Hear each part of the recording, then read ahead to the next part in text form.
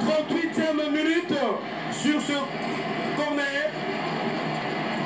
Condé Jaurès, Barreuse 13, Jean de Moukendi, alors que l'on voit là la petite colonie de Congo-Brazzaville qui anime aussi.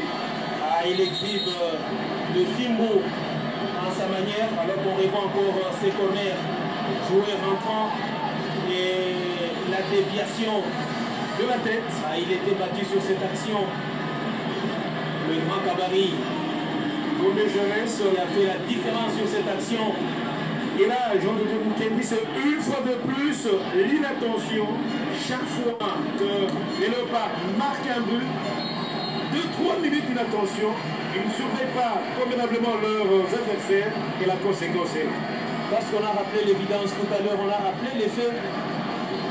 Un autre fait pour l'instant, Willy, c'est que si on s'arrêtait là, ce sont les gars de Rouge Congo Brazzaville Ils seront qualifiés. qui seront qualifiés pour la phase finale. Mais on n'en est pas là. Il y a encore 5 bonnes.